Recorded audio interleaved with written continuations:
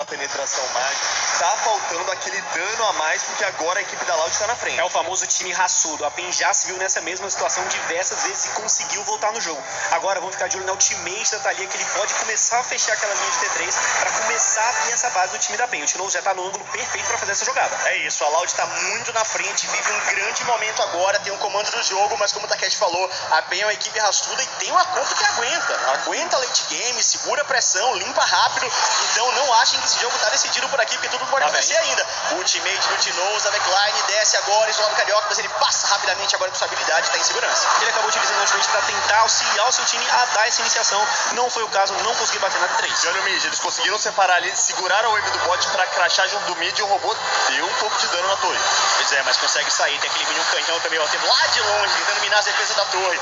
Até agora não conseguiram derrubar. 53 segundos ele bônus de barão. É muito tempo pra trabalhar e chega mais wave. O Barão tá chegando ao fim, falta 45 segundos, eles conseguiram pegar o trigo. Opa, Chegaram em cima do trigo, isolam ainda por ali também o Dinqueiro, que é justamente o maior fonte de dano, ameaça, conseguindo novamente em cima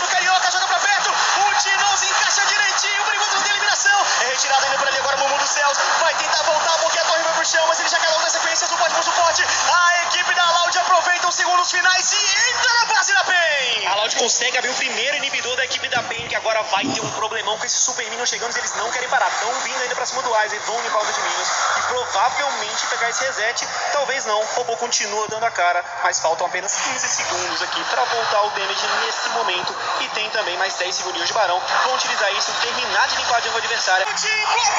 E a Loud vai pra vitória!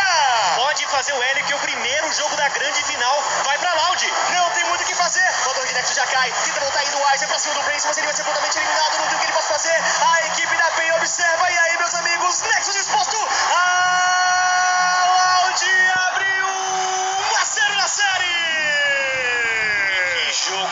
Jogo, controlado que eles tiveram a partir do momento que pegaram essa vantagem, tiraram completamente a Fiora do Wise de ter ali essa vantagem na rota lateral, uma composição arriscada, mas que souberam utilizar bem demais com essa Kalista e Olaf. Era uma composição que eles tinham um timer aí. A PEN conseguiria escalar mais, mas a Loud não deixou ali o pé do acelerador sair, chefe. Eles foram com tudo pra cima e graças à pressão do robô, especialmente, levaram essa partida. Pois é, né? O jogo começou muito pegado. Lá e cá, as duas equipes brigando, respirar direito. Mas aí, uma sequência de objetivos. A equipe da Loud foi melhor, pegou os arautos, escalou os dragões. E depois, aquele momento de teamfight, onde eles conseguiram a eliminação e deixaram o robô livre batendo, não teve mais como a PEN voltar. Deu Loud Skit, que abre 1 a 0 na grande final.